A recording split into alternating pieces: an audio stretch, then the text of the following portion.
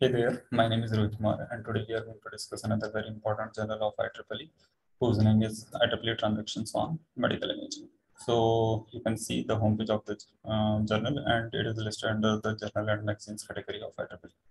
Like the usual journal of uh, IEEE, you can see that uh, the impact factor, eigenvalue, article influences, score, CiteScore, and all the popular menus are available on the uh, homepage. And it is the usual format of uh, IEEE journals. So it is uh, mostly common for most of the journals. Additionally, some of the societies who have uh, support for this particular transaction, they are listed here. So IEEE Signal Processing Society, AMP, and uh, some other societies like IEEE NPSS have support for this particular transaction. Now coming down to the submissions. So here it is also known as in short TMI.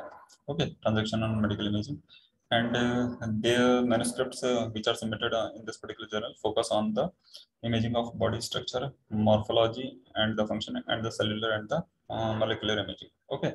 Additionally, the microscopy and all other related forms are also under the consideration.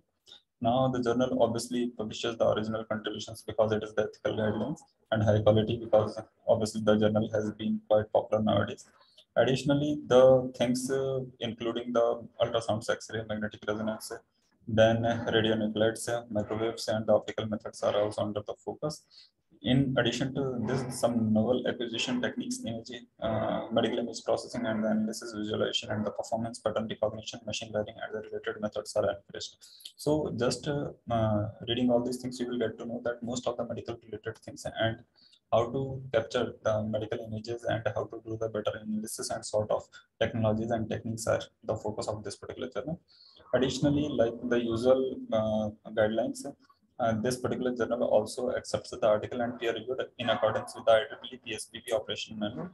And uh, the coming to the uh, latest published articles and the popular articles. So if you go to the latest published articles, you will get to know a basic idea that what sort of uh, recent focus and recent articles are supposed to consider for publication. So you will have a basic idea that what sort of things you should focus on to get published into this particular journal. So here you can see the uh, sound speed imaging of uh, the bones and the tissues. Additionally, the deep learning based is uh, reconstruction and localization of lesions. Then the semi-supervised segmentation. So the use of ML and DL, not ML, means a bit restricted of ML because in medical sector, lots of image and data is available. So usually deep learning is in the practice. So lots of deep learning and, and the semi-supervised, the supervised or the unsupervised learning based techniques are used for the analysis of the existing data. Now, uh, it's uh, not uh, uncommon because wherever the big data comes into the picture, the machine learning or the uh, deep learning based techniques come into picture. Coming to the editor, uh, so here the editor in chief so Leslie Ying is the editor-in-chief of this particular journal and uh, the professor belongs to the University of New York, the State University of New York. Then coming to the author's resources, so like usual IEEE journals, so the submission guidelines, submit manuscript, author central, becoming a reviewer, and the additional information are provided over down here.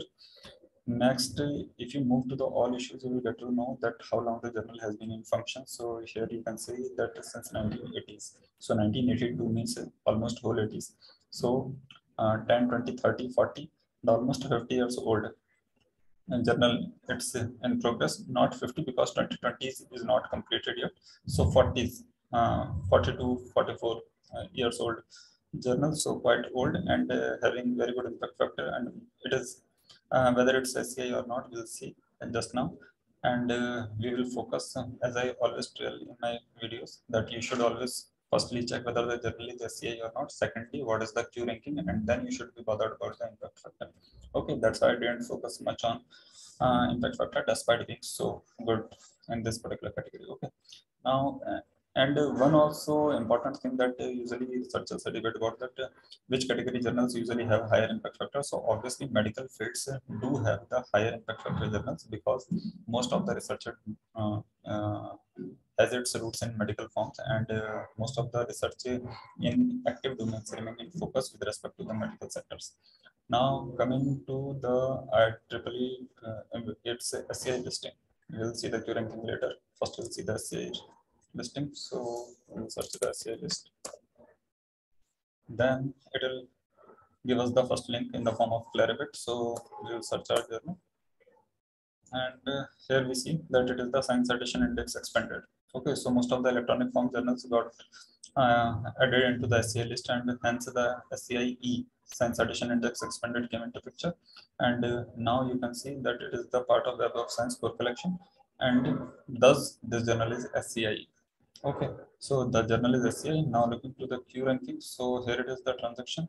Its H index is very good. Uh, H index of than 100 is considered good, but you can see it is more than 200.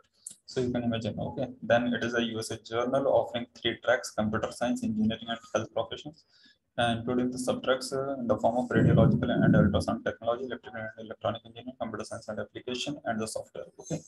Coming down here, you have that this journal has these SSN the coverage is from 1982 to 2020 and some of the homepage publishing related links. Scope we have already seen, so we are not going again into this particular depth.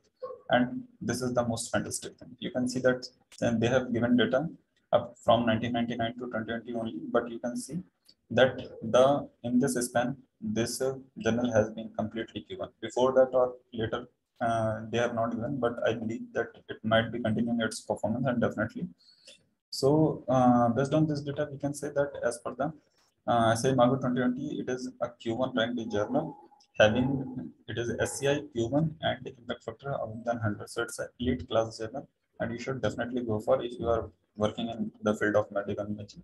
But due to tough competition, if you don't get into, then there are some of the other popular choices. So the computerized medical imaging and graphics, medical imaging analysis, International Journal of Medi Biomedical Imaging, Journal of Medical Imaging, and some more are given here. So you can consider, okay, as a choice of, as the alternate choice.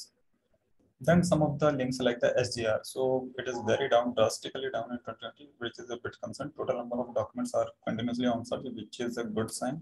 Additionally, the citations per document with respect to last two years is better than with respect to last three years, which is good thing, but it is less than with respect to last four years. So it should improve more. Okay. Now, coming to the self-citation, so it is a bit concerned because in 2020, self-citations and uh, the total number of citations gap uh, got a bit reduced, but it should keep on increasing because there should be minimum number of uh, self-citations. But very good thing that here you can see the number of self-citations are almost nil because the external citations and the total number of citations graph are almost nothing. Okay, in this way, uh, coming here, you can see the international collaboration again continuously going down. Perhaps the independent researchers are publishing more or they are doing independent research. And uh, second thing that the citable documents, uncitable documents are almost nil, which is a very good thing, means the ethical policies and the publishing policies are in practice uh, uh, seriously. And in this way, out of the publishable documents, means the citable documents, here you can see the cited documents are more as usual but uh, obviously the uncited documents are there but the rate is low which is uh, which shows that uh, the journal is quite popular and almost every journal comes into citation but here you can see in comparison to 646 only 72 journals got went uncited and in future they may get citation. And if you don't get citations uh, with respect to a particular area don't worry because most of the uh, articles uh, do get citations in future one or two years later because they come into picture to the actual uh, domain or the publication and uh, some of the technologies do come into actual form after some period of time. So then people do focus more on then they explore the related literature, literature inside the articles. Additionally if your uh, research didn't get any citation don't worry. Because you have published into a good journal or transaction then it proves that you have done sufficiently good work. Now you might be working very uh, deeply into a topic or you might be working into a very focused direction. That's why some of the very few authors or the people are working in that direction and your work didn't get into notice. Okay, so don't worry. Now coming to the final conclusion. So it's a journal is overall Q1 ranked and has a SJR 2020 score of 2.32. Now coming to the final conclusion. So it's from my opinion, journal is is Q1 and has a very good uh, impact factor. So in this way, you should definitely go for it. Additionally, some of the major research areas and the keywords you should always be uh, uh, known uh, about. And I think some of the related research areas with respect to this particular journal is the digital image processing, quite obvious. and machine learning, deep learning, artificial neural networks, radiology, medical physics, then computer vision. If you uh, go into the kind of modeling of the medical systems and then the linear algebra, uh, orthopics and uh, the information theory, computer graphics becomes a very good part because again in medical imaging the graphics should be very important. And they are important okay? And the Fourier analysis neuro-ophthalmology etc okay? Coming to the keywords and now the keywords define that what uh, particular keywords you should focus on. And if your research includes these sort of keywords then this particular journal or transaction becomes a popular choice for you.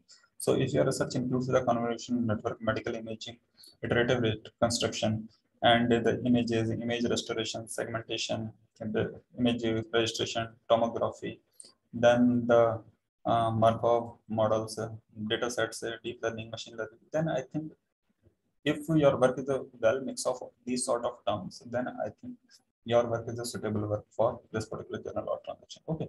Additionally, more than 180 plus uh, countries authors have been publishing their works with IEEE transaction on medical. So I think uh, uh, it shows that how powerful this particular journal is and you should go for this particular journal.